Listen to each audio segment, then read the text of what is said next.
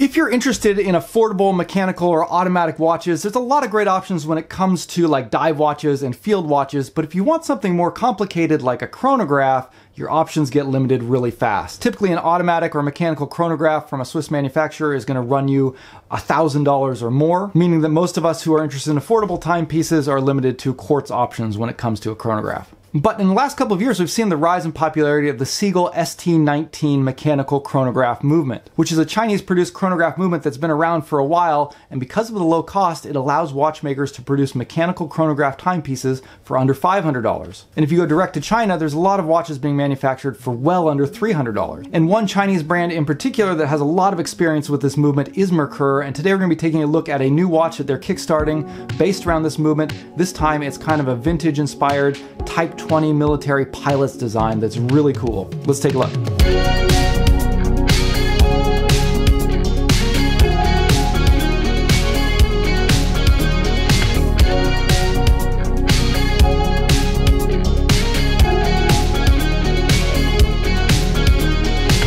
Hey guys, welcome back to Just the Watch. My name's Dave. I live in Japan, and this is a channel all about budget watch collecting. So each week I'm trying to bring you guys a new video, either talking about budget watch collecting or showing you some really cool affordable watches. And today Merkur has sent in a prototype of their upcoming mechanical chronograph watch that is built on the Seagull ST19 chronograph movement and takes its inspiration from vintage aviation pilots watches. Now this watch took sort of a long way around getting to me. It was accidentally sent to my friend Alton over at Half Past Blog. So I told him to go ahead and do a review of it. Well, he had it because he was interested in checking it out. So you can also check out his review and I'll leave a link to that down below. Also, you probably noticed the paid promotions flag at the beginning of this video. It's because I did receive this watch for free from Merkur. However, other than the watch itself, I did not receive any compensation from Merkur, nor did they provide any input into the content of this review. Now, Merkur is a Chinese watch manufacturer slash micro brand that's done a lot of interesting projects. One thing that I do really like about them is their community involvement. They've worked with different watch forums and social media groups to produce special edition watches for them.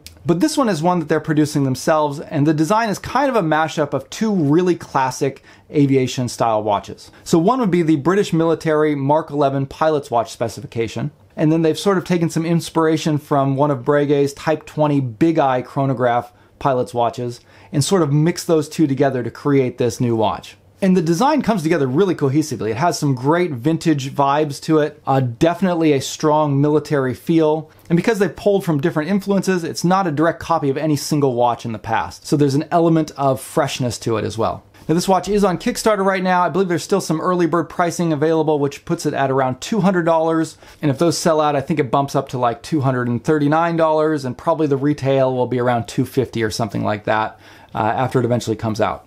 And here's what you're getting for that price. It has a 38 millimeter case with 18 millimeter lugs, 47 millimeters lug to lug, 15 millimeters tall, but about 4 millimeters of that 15 is the really high acrylic domed crystal, which does really help with the vintage vibes.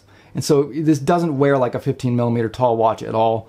Uh, again, a huge chunk of that is from the crystal. And inside you are getting the ST19 manual wind chronograph movement from Seagull. Now, like I said, Merkur has a lot of experience producing watches based around the ST19 movement. And in fact, I've reviewed one of them before. I looked at their Pierre Paulin uh, sort of panda dial racing style chronograph. And they also manufacture some watches under their FOD sub brand. You might be more familiar with that. And this watch shares the same case and crystal that's been used in some of their previous chronograph watches, which is a very nicely finished, elegant, slim case, again, with a really high domed acrylic crystal which gives some cool distortions at extreme angles, but still gives you a really clear view down into the dial from straight on.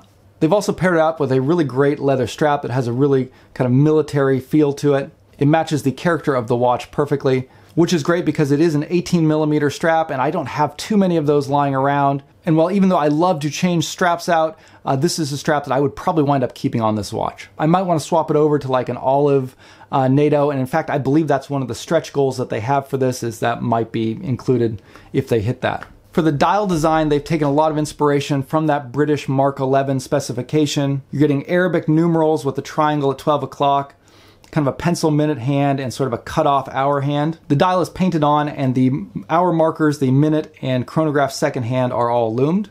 And then this is a bicompax chronograph design, so they have two subdials, one at 9 o'clock and one at 3 o'clock. At 9 o'clock, you've got the second hand for the time, so that's the sweeping second hand that will always be running. And then at 3 o'clock, you have a 30 minute counter to track minutes on the chronograph. The main second hand on the dial is for the chronograph function, so that will remain stationary until you activate the chronograph, and then it will begin sweeping and tracking elapsed seconds. Now, one of the unique things about this design is that big eye so the 9 o'clock subdial where it counts the minutes is oversized, which gives a little bit of an asymmetrical look uh, that looks really cool. And I believe the intent for that would be to be able to read that chronograph uh, minutes hand a little bit easier. And on that large 3 o'clock subdial, they have loomed indexes. But while they look really cool, they're not really functional after dark because the chronograph uh, minutes counter hand is not loomed. And that brings us to one of the main complaints that I have about this design, and that is with the small subdial hand that they've used on the minute counter. Well, it's cool that that hand is in red to match the chronograph functions and kind of give you a visual cue that that is the chronograph minutes counter. It is the exact same size as the hand on the small seconds subdial. One of the primary design elements of this watch is that big eye, so that larger minutes counter, uh, which is meant to help with legibility. But because the minutes counter hand is not large, it's again exactly the same size as the other hand, it doesn't really help legibility that much. And since it's also not loomed, it doesn't really help you with the legibility after dark, even though you have loomed indexes on that counter. But that one minor complaint aside, I feel like the design overall does look really attractive and appealing. It has a great military vibe to it, and I think it's going to look great on the wrist. And also, this being such a compact watch, it is very comfortable on the wrist. This is a really great case to wear. The strap is also very comfortable. So overall, I do really like the design. Now let's talk a little bit about the Seagull ST19 movement that is powering this watch. This is really one of the few ways you can get a mechanical chronograph watch on your wrist for under $1,000. And because of that, it is a really cool movement. It is amazing that you can have a mechanical chronograph movement this cheap. It is a movement with an interesting history and unique heritage, and it has been in production for a long time. But I think you also need to have some good expectations going into this movement. There's a reason why this movement can be found in watches for $200, while more expensive chronographs from Swiss manufacturers typically range in $1,000. You shouldn't expect to get the same performance you would get in a $1,000 or more Swiss chronograph movement than you would get in this watch here.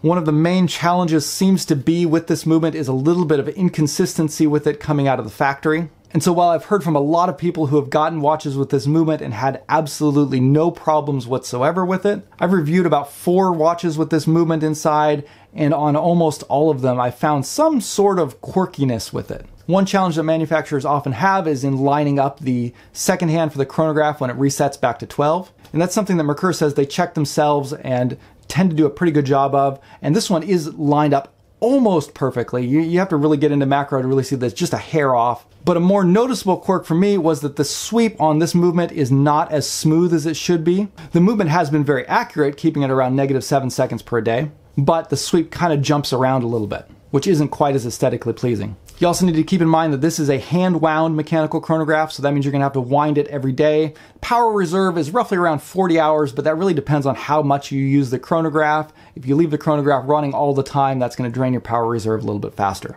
Now, one of the coolest things about the ST19 movement is the way that it looks, and so that brings us to another kind of complaint I have about this watch, and that's that they went with a closed case back on it unless you already have another watch with an ST19 movement in it that has an open case back so you can see it, you really probably want to have an open case back because this is definitely something that is significantly more interesting to look at than your standard Seiko NH35 or most uh, budget automatic movements that you're going to see out there. And while the closed case back fits in great with the military theme and it looks great on this watch, I feel like being able to see the ST19 movement in this is something that most people who are interested are probably going to want. Now, that is a stretch goal on the Kickstarter campaign, so hopefully if they get enough backers, they'll be able to reach that stretch goal and get the open case back option on there. Taking a quick look at the lume on this watch, the lume is pretty good. It's not like a dive watch bright, but it's, you know, on the average side for most field watches and pilot's watches that I've seen. It looks really cool in the dark. Gives you a nice period of legibility after dark, but it's not something that's going to last particularly long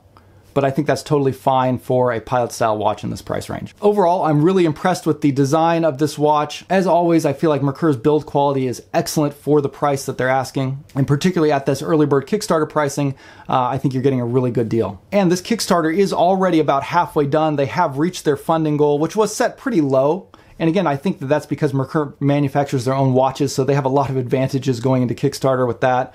Um, they don't need as much upfront cost to get this going. So if you back this watch, you're pretty much guaranteed to get it at this point. And if you like the style of a military chronograph watch and you're looking for something with that mechanical chronograph movement inside of it, I think this is a great one to kind of look at as a, a starter watch or to continue building your collection. So definitely think this is something that's going to appeal to a lot of people. I'll leave links to the Kickstarter down below. And if you guys are interested in more content like this, of checking out affordable watches and learning about how to build an affordable collection, definitely invite you to subscribe to the channel. Again, I shoot to put out videos about once a week. I also am selling these t-shirts and I've got actually not just this one, but a lot of other cool designs I've been putting together, kind of adding more on a regular basis. So head over and check out the t-shirt shop as well if you want to support the channel and get your hands on some cool watch themed t-shirts. Anyways, that's going to wrap it up for today. Thank you guys for watching and we'll see you later. Bye.